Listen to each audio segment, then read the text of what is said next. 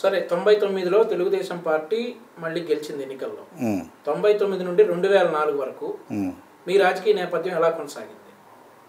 ఇది ముందే నాకు తొంభై ఆరుకి నేను మార్కెట్ చైర్మన్. తొంభై ఆరు.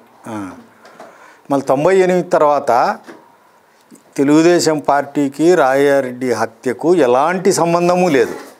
ఏ ఒక్కరికి పైనుంచి కింది వరకు తెలియని కూడా తెలియదు.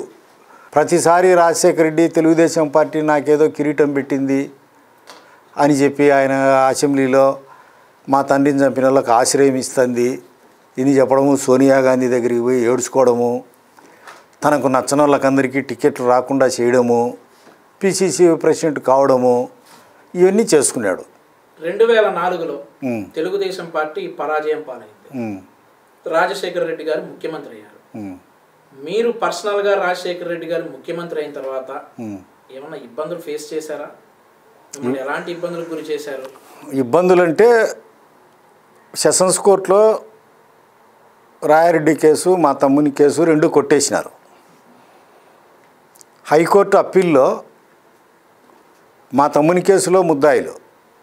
ఈసీ వెంగిరెడ్డి వైఎస్ భాస్కర్ రెడ్డి ఇప్పుడు ఉండే దేవిరెడ్డి శివశంకర్ రెడ్డి జైల్లో ఉండేది ఆ కేసు మేము రెండు అప్పీల్ చేస్తామని చెప్పి అప్పీల్ చేయకుండా రాయరెడ్డి కేసులో ముద్దాయిలుగా ఉండే కేసు మాత్రమే గవర్నమెంట్ తరపున అప్పీల్ చేసి మమ్మల్ని నమ్మించి మాది అప్పీల్ చేయకుండా వదిలేశారు. మళ్ళీ నేను ప్రైవేట్ కంప్లైంట్ వేసుకొని హైకోర్టు కేసుకున్నాను మా తమ్ముని కేసు. అది తర్వాత మా తమ్ముని కేసు కొట్టివేయించి మా తమ్ముని కేసులో ముద్దాయిలుగా ఉండేది. అక్విట్ చేసి రాయరెడ్డి కేసులో అందరికీ లైఫ్ ఇచ్చారు కదా ఎంటైర్ మా ఫ్యామిలీకి అంతా లైఫ్ ఇప్పించాడు. ఇంకా తర్వాత ఆరేండ్లు మాకు పెరగలు కూడా లేదు. పన్నెండేండ్లు. జైలు జీవితం గడిపి వచ్చాము. నా నా ఒక్కంది సెషన్స్లో పోయింది హైకోర్టులో పోయింది సుప్రీంకోర్టుకు లో కూడా పోయింది. అంటే ఫ్యామిలీ అంతా రూయిన్ అయింది. జైలు జీవితం ఎవరెవరు గడిపారు మీ ఫ్యామిలీలో? మా తమ్ముళ్ళు గడిపారు కదా.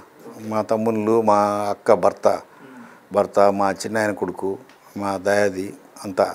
మా దయాది ఒక ఆయన ఉన్నాడు ఆయన. అంతా మా సమీప బంధువులు. చాలామంది మొత్తం పదకొండు మందికి లైఫ్ వచ్చింది.